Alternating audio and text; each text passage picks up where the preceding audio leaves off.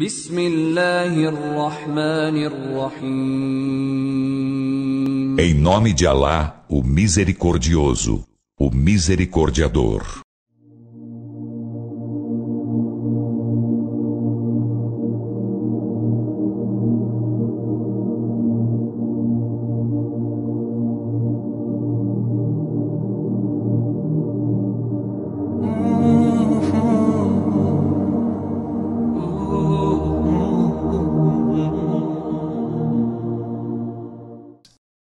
الحمد لله فاطر السماوات والأرض جاعل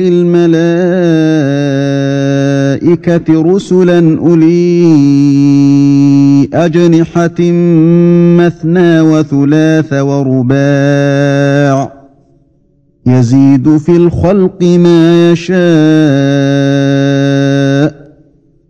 إن الله على كل شيء قدير Louvor a Alá, o Criador dos céus e da terra, que faz dos anjos mensageiros dotados de asas, duas ou três ou quatro.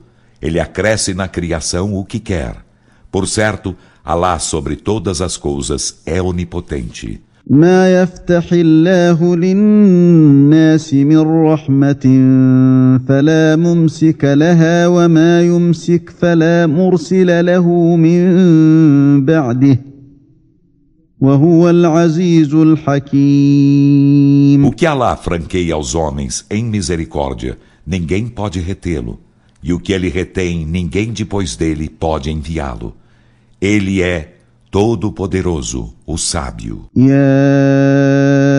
أيها الناس اذكروا نعمة الله عليكم. هل من خالق غير الله يرزقكم من السماء والأرض؟ لا إله إلا هو فأنا تؤفكون. Ó humanos, lembrai-vos da graça de Alá para convosco. Há Criador outro que Alá, que vos dê sustento do céu e da terra? Não existe Deus senão Ele. Então, como dele vos distanciais?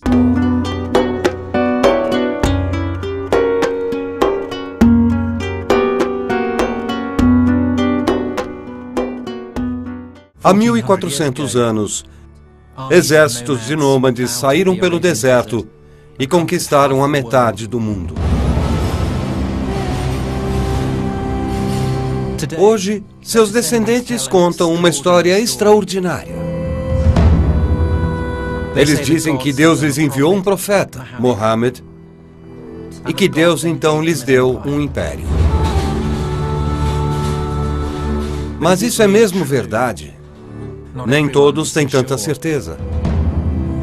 As conquistas muçulmanas foram as mais decisivas da história. Mas eram os árabes do sétimo século, mesmo muçulmanos?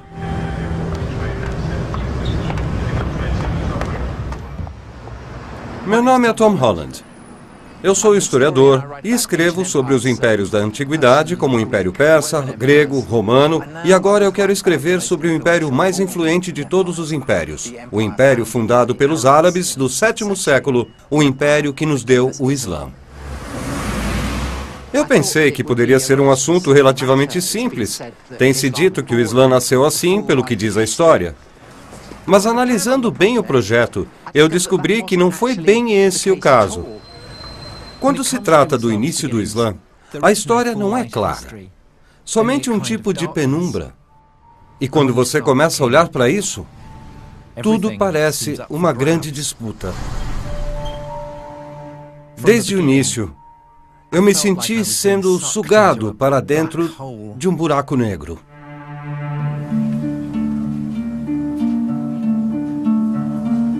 O problema de escrever sobre o surgimento do Islã é que temos falta de provas e não temos nada para contar a história.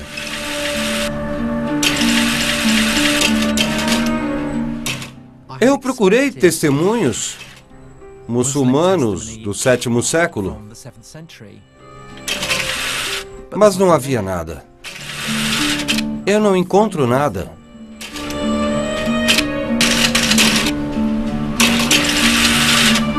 Há um problema aqui. Você está se aprofundando na origem das mais profundas crenças muçulmanas. Mas onde está a prova histórica? Algumas vezes, a crença do crente e o entendimento do estudioso não são compatíveis. É uma escolha entre fazer a história e não fazer a história. E assim, eu faço a história, mesmo que isso possa incomodar as pessoas. Você tem que dizer coisas que os crentes não dizem. Coisas que algumas vezes chocam os crentes. Coisas que às vezes os deixam furiosos. Há um senso de história, de detetive sobre isso. Por que a maior parte das provas está faltando? Quando os romanos conquistaram o Oriente Médio, eles deixaram para trás todo tipo de prova. Histórias, inscrições, moedas. Mas com a conquista muçulmana, silêncio. O que podemos realmente dizer sobre Mohammed? O que realmente sabemos sobre as origens do Islã? Por onde começar? Bem, talvez devamos começar pelo início do sétimo século. Faltam cinco minutos para meia-noite. E o mundo antigo está para mudar para sempre.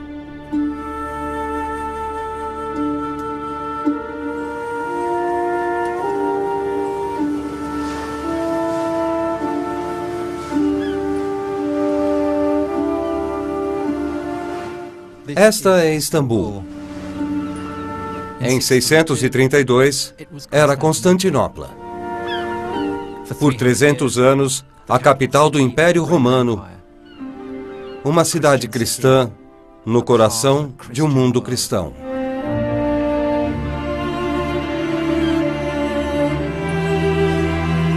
Uma religião universal para o Império Universal. Esta era a receita romana para o poder. Uma ideia totalmente aceita pelos muçulmanos quando, aproximadamente mil anos mais tarde, eles conquistaram a cidade e transformaram a maior catedral da cristandade em uma mesquita. Nós sabemos como e quando os romanos se tornaram cristãos, pois contemporâneos nos contaram tudo a respeito. O que não sabemos é como os árabes se tornaram muçulmanos. Faça uma jornada para o passado e você não estará certo de onde terminará. A história é como um labirinto. Uma vez dentro, ninguém sabe para onde o conduzirá.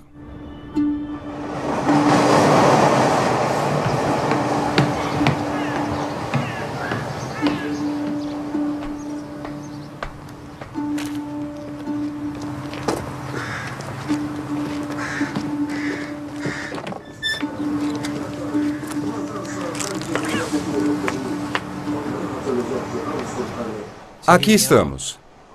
O grande palácio dos imperadores romanos da Constantinopla cristã.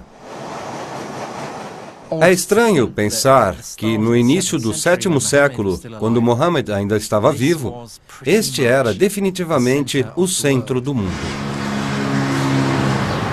É triste ver que o que resta aqui praticamente é lenha para fogueira.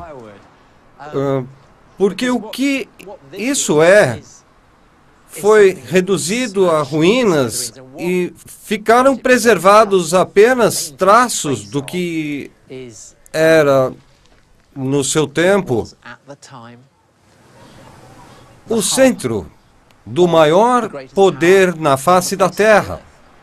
É como a Casa Branca, é onde vive o imperador, é o Pentágono, é o coração do estabelecimento de defesa, é a Corte Suprema, é onde as leis eram escritas e proclamadas. Tudo isso aqui na cidade de Constantino, o primeiro império cristão, a maior cidade do mundo, e agora tudo se foi. E agora se resume em algumas partes. Você tem uma rua de um lado, tem o trem do outro, e tudo o que resta para ver é um gato.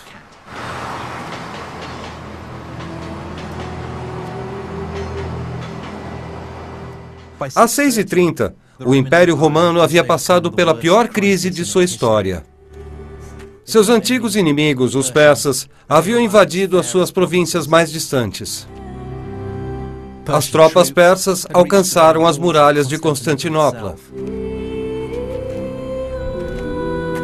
Então, após 25 anos de guerra, os persas foram derrotados e o imperador romano se tornara mais uma vez o mestre do universo. Em um momento como esse, ele jamais poderia imaginar a ruína que os céus haviam guardado para ele.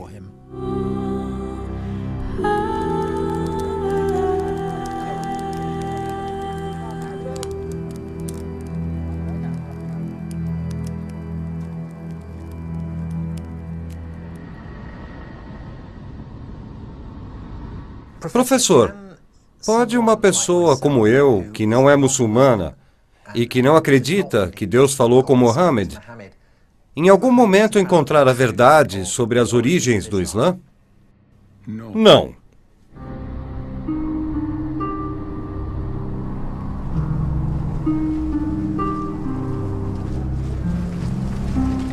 Os árabes? Sim, foram os árabes. O profeta Muhammad, que a paz esteja com ele, era um árabe como nós. Beduíno. A face da conquista árabe. As tropas de choque que no sétimo século saiu da Arábia e forjou um império colossal e abrangendo a metade do mundo. E aqui no deserto, ninguém tem dúvida de que os conquistadores eram mesmo muçulmanos. O profeta e seus amigos abandonaram tudo. Eles não ligavam para as coisas mundanas, negócios ou mesmo seus filhos.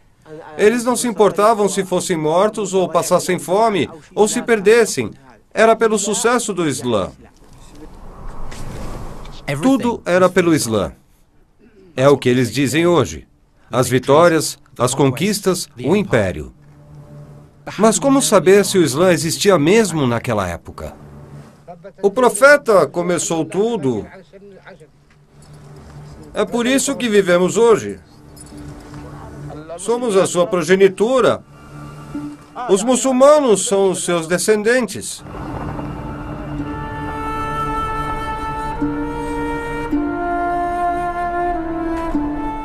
Para os antigos, os árabes eram selvagens notórios. De todas as pessoas da terra, os mais desprezíveis e insignificantes.